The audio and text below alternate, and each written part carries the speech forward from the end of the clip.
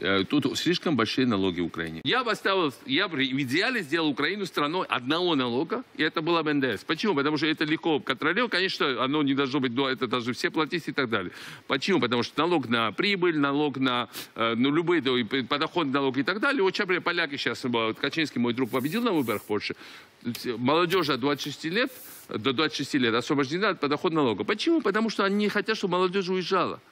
А в Украине скоро молодежь не останется, чтобы не... у- Некого Слухайте. будет освобождать. При этих налогах работать чисто невозможно. В любом случае надо упорядочить, но налоги надо снижать. Без них... Есть две вещи для того, чтобы достичь Треба успеха. допомогти людям стати на ноги. Есть вижити, дерегуляция. правда? Что такое дерегуляция? Что такое дерегуляция? Дерегуляция это когда вот все эти дебильные справки, довидки, там, ра- разрешения и так далее не нужны. Вот, например, МРЭО, ты стоишь не 17 часов, если не заплатил 300 долларов, а а оформляешь за 10 минут. Это называется дерегуляция. Что все упрощается, чтобы получить разрешение, там, э, бизнес открытие и так далее, все очень просто. Это хорошо. И они, это, этот парламент, кстати, это начал делать.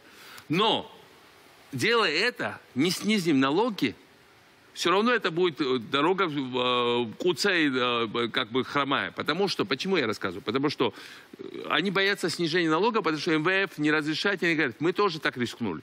Но как только ты снижаешь налоги, ты расширяешь налоговую базу. У тебя будет меньше доходов, а больше доходов. Потому что гораздо больше людей увидят смысл иметь дело с государством, они все время э, куда-то там через одни там эти э, каналы все это делают. Надо понять, что при этих таможенных э, тарифах работать честно невозможно.